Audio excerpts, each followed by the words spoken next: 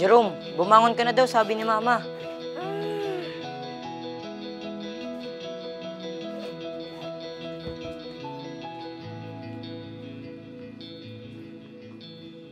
Oh, bakit tulog pa rin hanggang ngayon kapatid mo?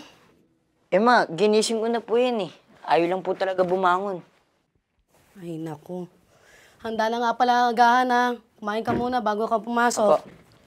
Jerome! Gising na! Bumangon ka na! Bilisan mo na! Ay, naku. Aray! Ano ba yun? Naku! 6 a.m. na. Late na ako. Kanina ka pa si- na, kasi namin sinasabihan na bumangon eh. Naku. Pasensya na po. Malilate na po talaga ako. Ay, naku bata. Kailan ka ba matututo?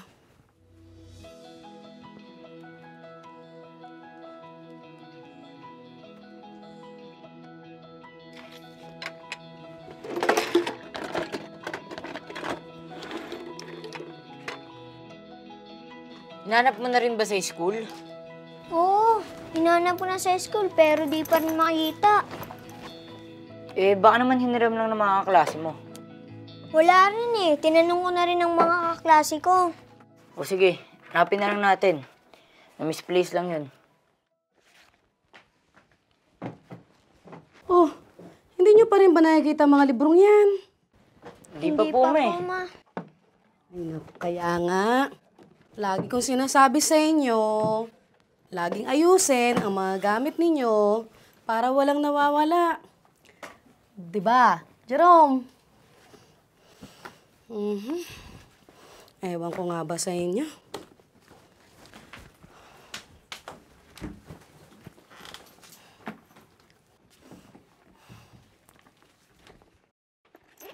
Katulad ng damitan mo, Jerome.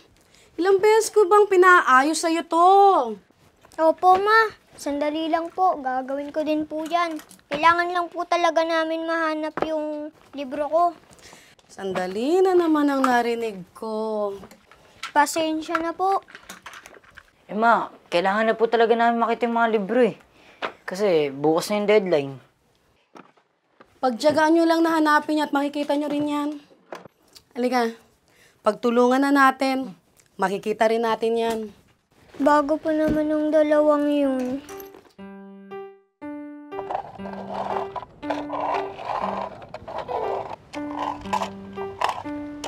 Jerome, Hi, kuya.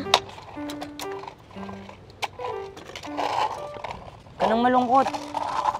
Dapat kasi talaga nakinig ako sa inyong dalawa nila, mama. Dapat nililigpit ng maayos ang mga gamit para di nawawala. Ang importante, naintindihan mo na na dapat may disiplina sa sarili sa pagliligpit ng mga gamit. Tama ka, kuya. Kaya next time, makikinig na ako sa inyong dalawa ni mama. At aayusin ko na ang mga gamit ko. O sige na, iyamin na si mama. Punta na tayo sa palengke. Kuya, di na daw tayo matutuloy sa pagbili ng laruan sa palengke.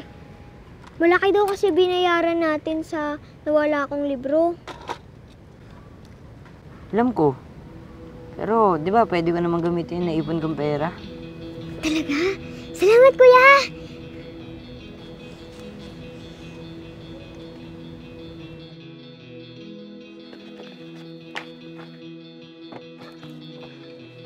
Thank you ulit sa ballpen, Jerome. Aba, nandito pala kayo. Buti naman at nag-aayos na kayo ng mga gamit ninyo para sa pasukan.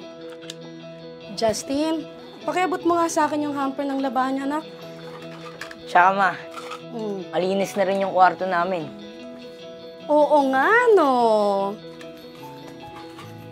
Pati ang mga labad, labahan niyo, oh. Nakaligpit. Tama ka, ma. Dapat talaga maging maayos sa mga gamit para di nawawala. Tama yan. Pasensya na po, ma. Hmm, okay lang yung anak. Basta sa susunod, laging tandaan ha, maging disiplinado sa pag-aayos ng sariling gamit nyo. Opo, ma. Ngayon, naintindihan ko na po at lagi na po akong makikinig sa inyo. Hmm, Talaga, galing-galing naman. Sa wakas, dalawa na kami magliligpit na itong kwarto. Tama. Natuto rin yung mga anak ko. Galing-galing.